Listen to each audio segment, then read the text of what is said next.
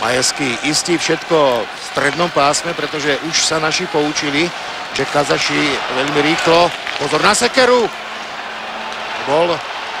Hej, škoda, že Ivan Majesky nemohol strieľať z prvej, pretože brankár Jeremejev nebol ešte celkom v bránke.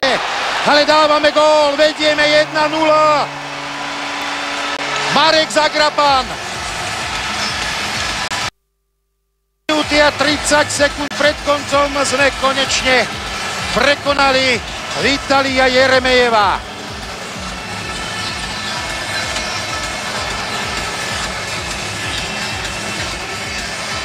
Bola to niekoľkonásobná šanca našich. Napokon to vy, vymysleli naozaj bravúrne.